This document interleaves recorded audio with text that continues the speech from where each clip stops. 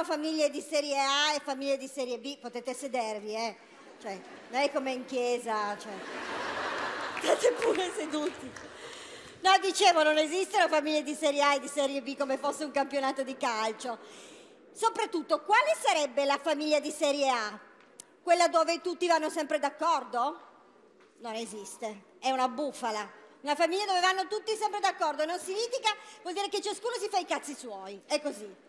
Poi di solito quelli che strillano che la famiglia è solo quella tradizionale, poi ciupano in giro come ricci, mantengono pattuglie acrobatiche di escort, si tirano piste che Pablo Escobar all'aeroporto di Bogotà manco se ne vedeva, poi vanno in Parlamento e votano contro le unioni civili.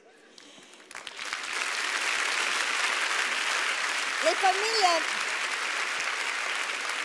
le famiglie non sono un'equazione algebrica e neanche una formula matematica, ma guarda anche nei fumetti ci sono delle famiglie meravigliose. Zio Paperino che vive coi tre nipoti, qui qua qua. Nonna Papera che non è mamma di nessuno ma è nonna sempre di tutti. Il Kung Fu Panda che ha due genitori, uno adottivo che è un papero e quello biologico che è un panda.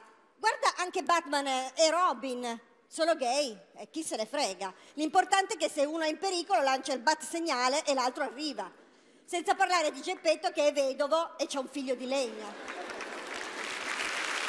C'è un solo requisito per fare famiglia, uno solo, semplice, l'amore, il volersi bene, darsi una mano ed esserci tutti i giorni.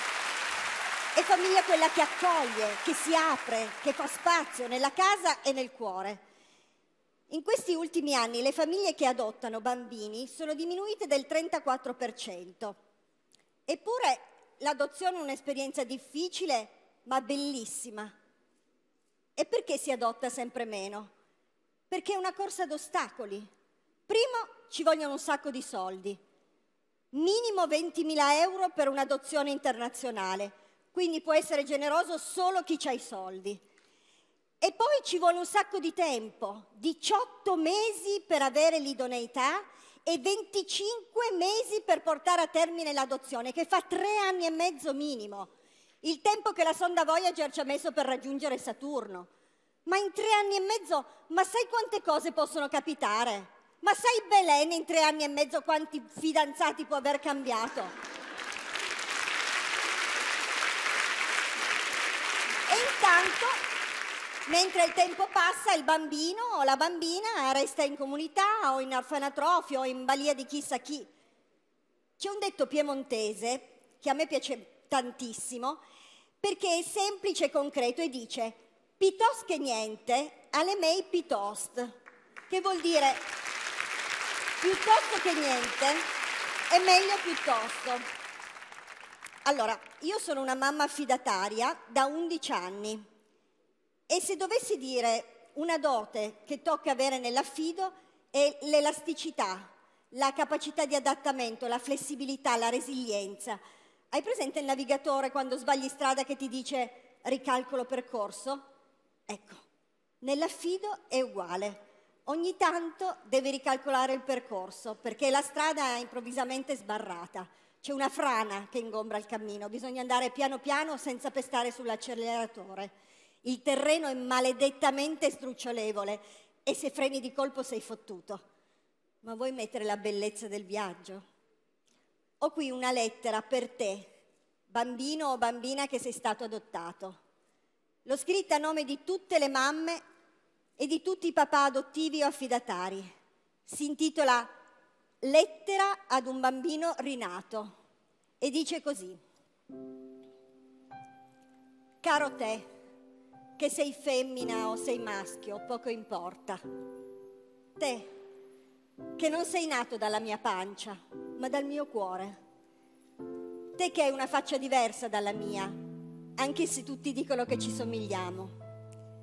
Te che la vita è bastarda, perché ti ha fatto nascere in un posto e rinascere in un altro e non hai potuto scegliere nessuna delle due volte. Te che una mamma ce l'avevi, ma poi ne è arrivata un'altra e adesso ne hai due ed è un gran casino. Te che sei da maneggiare con cura, come c'è scritto sulle robe fragili, che sei fatto di spine, ogni tanto pungi e ti dispiace, che a volte non ci stai dentro, che vuoi scappare, ma non sai da cosa. Te che per paura di essere lasciato lasci, che non ti fidi mai. Te che dimmi che mi vuoi bene, ma dimmelo venti volte di seguito. Te che posso venire nel letto con te e dimmi che non mi lasci anche tu. Te che è vero che sei un figlio e una figlia diversa, perché i figli nati solo dal cuore sono più figli ancora degli altri.